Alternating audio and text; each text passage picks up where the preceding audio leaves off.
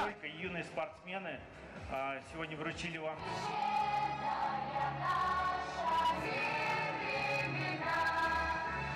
Мы надеемся, We hope that this won't happen again. For us, it was a shock.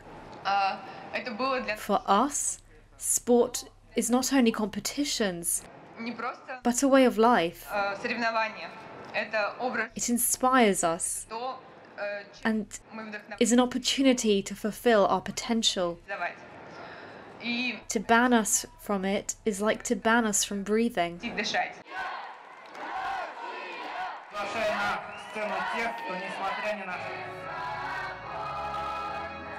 We came here to support our athletes.